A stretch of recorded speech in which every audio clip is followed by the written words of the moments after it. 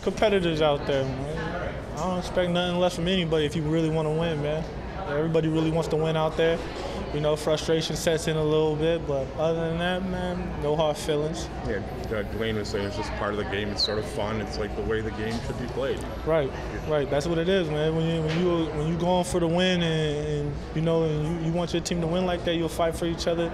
You do whatever it takes, you know, to to hold your ground.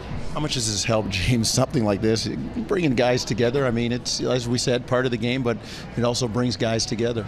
Man, ain't no award for that, man. You know, our, our team is we built for that. You know, we we've been brothers since since the first day of preseason.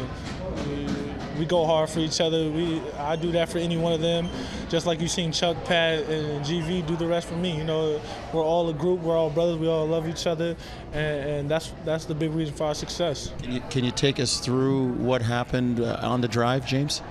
Man, I just made a euro. I made a euro move, and, and I ran into his shoulder. How about the dunk? Just your dunk. Just That was nasty, right? I cocked that joint back and banged on him.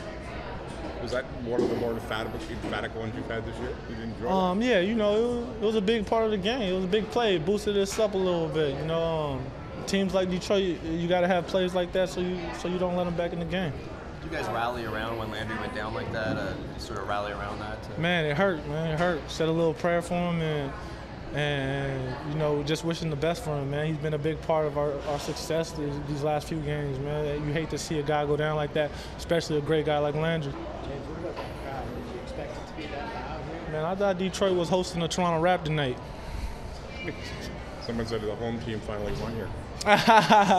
it seemed like that. You know, it feels good to get this kind of love from our fans, man. We love them a lot, man. And for them to make that drive or however else they got out here, man, that's a blessing.